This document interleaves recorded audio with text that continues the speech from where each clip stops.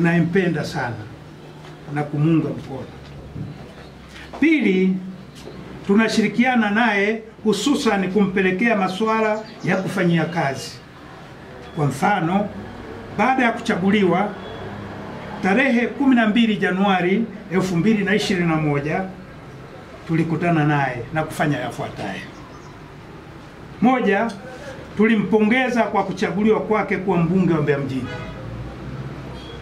Mbili, tulimpongeza kwa kuchaguliwa kwake kuwa naibu spika wa bunge la Jamhuri ya Muungano wa Tanzania. Tatu, tulimwomba afanye kazi na sisi ya kuelekeza mkoa wa Mbeya katika maendeleo sahihi na stahiki. Nne, tulimwomba yeye awe kiungo kati yetu na wabunge wa majimbo yote ya mkoa wa Mbeya. Tano, tuliainisha yale ambayo yanafaa kuwa vipaumbele kuelekea mwaka 2025 kuwa ni haya yafuatayo: A, ujenzi wa madarasa na uanzishaji wa vidato vya tano na sita katika shule za sekondari saba jijini Mbeya ambazo ni Uyole, Ilomba, Lioto, Iwambi, Nsoho, Itiji na Iduda. Che, ufuatiliaji wa mpango kabambe wa jiji la Mbeya. D, uanzishaji wa wilaya mbili katika jiji la Mbeya. E, utekelezaji wa mradi wa maji kutoka mto Kiwira kuja jijini Mbeya.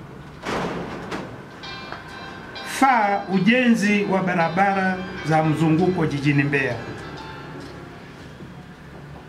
Ndugu wanahabari, tulimwomba akayaseme bungeni masuala matatu. A, kuigeuza reli ya Tazara ambayo tayari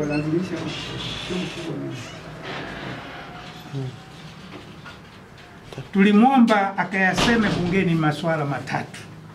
Ndugu waandishi wa habari, a kuigeuza reli ya Tazara. Mwaka 2021 tulimwambia hivyo bunge wetu kwamba kaseme bungeni namna ya kuigeuza reli ya Tazara ambayo tayari ni ya vipimo vya kimataifa, yani ni SGR. Maka watu walidhani SGR ni ile reli inayojengwa, kumbe tayari Mbeya ipo SGR toka mwaka 1976 ilipomalizika kujengwa reli ya Tazara, kwamba kaizungumze kule bungeni ili taifa lione namna ya kuigeuza hiyo reli kuwa reli ya umeme kama hizo zinazojengwa sasa hivi. B, kujenga kituo kikubwa cha mafuta mkoani Mbeya kupitia katika bomba la mafuta la Tazama ili linalopeleka mafuta Zambia, ili Tanzania iweze kuuza mafuta kwa wingi kwa nchi za jirani za kati na kusini mwa Afrika. Na che, kufufua viwanda vilivyobinafsishwa ambavyo havifanyi kazi kama vile kiwanda cha zana za kilimo Mbeya na kadhalika. Na saba, tulimweleza umuhimu na uhitaji wa haraka wa kuboresha ofisi ya mbunge wa Mbeya mjini kwa sababu ya hadhi yake kwa wakati ule akiwa naibu spika wa bunge la Jamhuri ya Muungano wa Tanzania na wananchi wa jimbo la Mbeya kuonesha fadhila kwa wabunge wa bunge la Jamhuri ya Muungano wa Tanzania waliotupa heshima kubwa kwa kumchagua mbunge wetu kwa wakati ule kuwa naibu kiongozi katika mmoja wa mihimili mitatu ya dola. Aidha, ofisi ya hadhi ya namna hiyo ni mahali pazuri pa kufikia wageni wa mbunge wetu, na kwa hadhi yake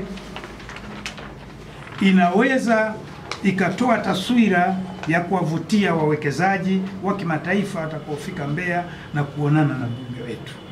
Na hili swala tulilifikisha hata kwa mkurugenzi wa jiji na akakubaliana na sisi, na hata akasema, je, tujenge kama ile ofisi ya mbunge wa Urambo iliyojengwa na eh, hayati Samuel Sita akiwa spika. Yaani ndio ofisi nzuri kuliko ofisi za wabunge wote katika Tanzania nzima.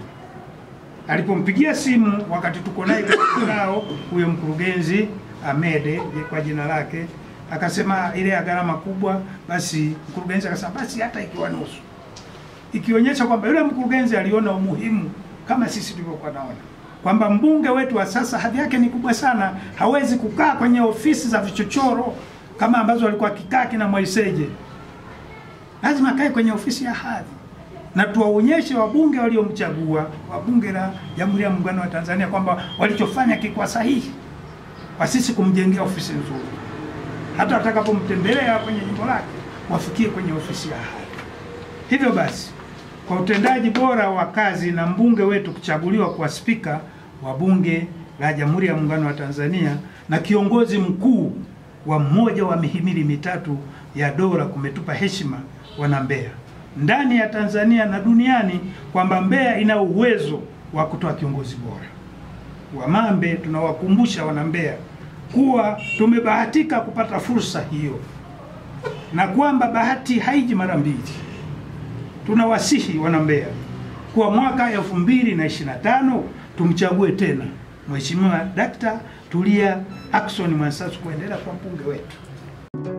Je, unasumbuliwa na mifupa, maumivu makali ya kiuno, mgongo na viungo vya mwili kuuma, miguu kuwaka moto? Hauhitaji kuhangaika tena, kwa maana Kitagiri Boni Solution tumekuja na suluhisho. Tunatoa ushauri wa tiba asili za virutubisho utakaokusaidia kuondokana na tatizo lako. Wengi wamepata matokeo makubwa na wamerudi kushukuru. Karibu leo upate ushauri wa afya. Napatikana Victoria, mtaa wa Makumbusho, Dar es Salaam. Instagram tunapatikana kwa jina la Kitagiri Bone Solution au wasiliana nasi kwa namba 0685555184. Wote mnakaribishwa.